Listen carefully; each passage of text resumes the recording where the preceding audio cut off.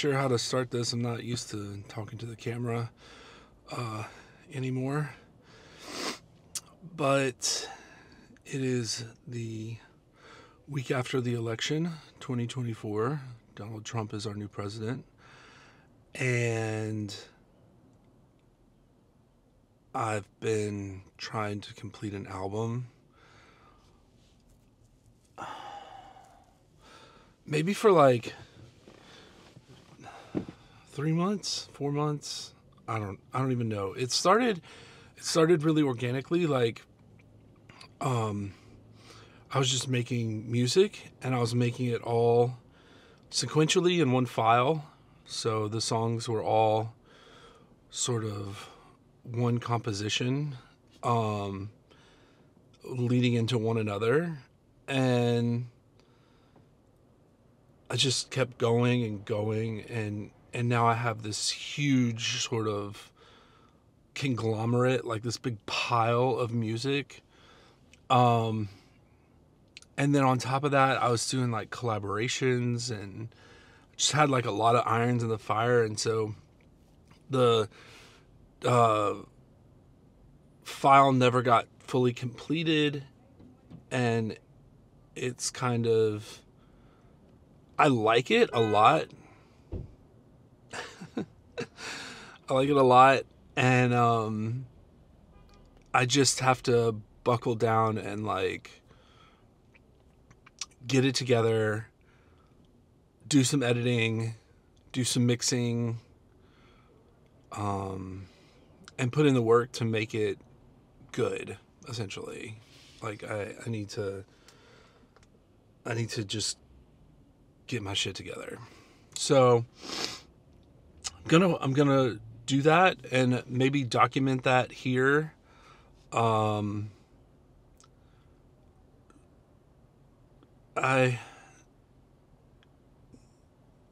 don't feel like being creative, but I also don't know where to put my energy right now. I don't know sort of what the next steps are for existing right now in America. it's just it's just so absurd that we've come to this point um, in our history and um, I feel like if I don't retract from consuming news or consuming media or consuming social media and take that energy and put it into being as creative as possible then I'm going to spiral to the point of detriment to myself. And I'm not using the gifts that God gave me. I'm not using the talent that He's provided me to create a more positive environment around myself at the moment. And that's sort of like, um, that's sort of a goal of mine overall is to leave things creatively in a better place than I found them. And so I plan on documenting that here. Um, here, I think a lot of people in my life know that for a long time I loved documenting my life through video, and then my life changed drastically when um, I came out at 34 and I decided to stop documenting that because it felt very disingenuous. It felt very performative. And looking back on it, when I stopped documenting my life and my son's life and my partner's life, I lost a lot. Um, I, I, I have been going back and watching old YouTube videos that I made in the 2010s and just really enjoying seeing my son as a baby and um, seeing my life then and seeing how making videos pushed me out of my comfort zone and it pushed me um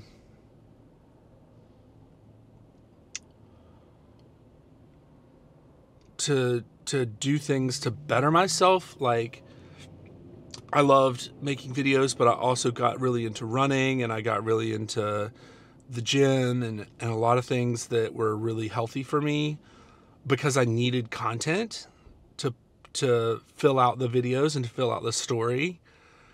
And so not that I'm starting to make video content now because I need to go to the gym, which I definitely definitely need to go to the gym.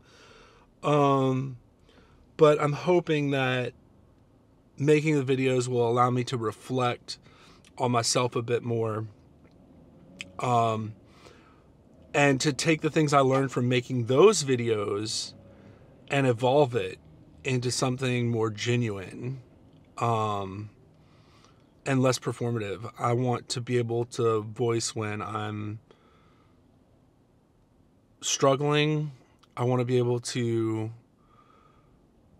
go back and sort of review my behavior or my thoughts or just whatever's going on around me and making those videos, editing them, and posting the content online or not posting the content online, like just having them for myself, um, I think is very valuable. So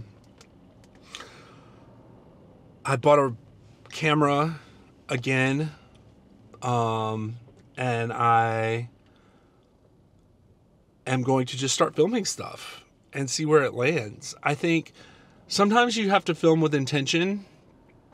Like, um, that was definitely something that, like, the vlogging era taught me was that um, sometimes you have to film with a goal in mind, and then sometimes you don't. Sometimes you you just film and see what happens and just enjoy uh, the act of creating and hopefully leave something for Max when he's older that humanizes us a bit and that allows him a window into our lives that um,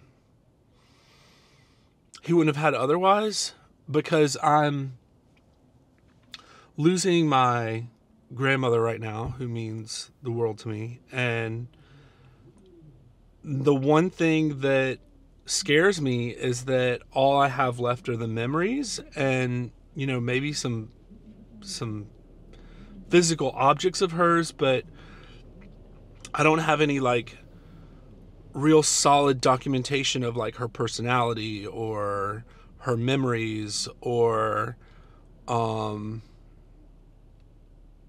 you know all all that she was or is as a human um, exists inside our brains and inside her brain. And you know there's a few like little home movies and reel to reels and, and lots of pictures but um over the past say eight to ten years i haven't been really good about filming or documenting or taking photos. Not because I was ashamed of my life at that point, but because I was just so caught up in trying to figure out who I was again. And I was really caught up in establishing relationships and working and building my career and and um I think it would be really nice for Max and for other people in my lives to have sort of solid documentation of of who I am. And that's kind of what the music thing is about too. It's, I, I hesitate to say it's about a legacy um, or like leaving a legacy, but it's definitely about capturing a moment in time and presenting that as art. And um, yeah, I hope to leave behind something that is a genuine reflection of myself. Um, so I've just been thinking about that a lot. And yeah, uh, if you're watching this and you're a friend or acquaintance or whatever, you know, and you don't see me with a camera in my hand in the next six months, uh, give me a hard time because I definitely have all the resources at my disposal now to create video content to go along with the other things that I'm doing as an artist. Um, and I think I've not perfected the craft of making music, but I'm definitely a lot more skilled now technically than I ever have been. And um I can make these videos really quickly and easily and there's no reason to not have some documentation of what my life is like at this point. Um I've just I've just been too lazy to to do it and I think now with everything that's going on in the world, I have to kind of cut that shit out and really get down to business um, and really make some fun, cool, interesting stuff before it's too late, before time runs out. And with everything that's going on with my grandmother and my mom and dad getting older and all of that sort of thing, there's no there's nothing that's been more at the front of my mind than the amount of time that I have left to create and make something uh, worth leaving behind. So, anyways, didn't mean to turn this into a 10 minute rant, but but here we are. All right let's see let's see where this goes.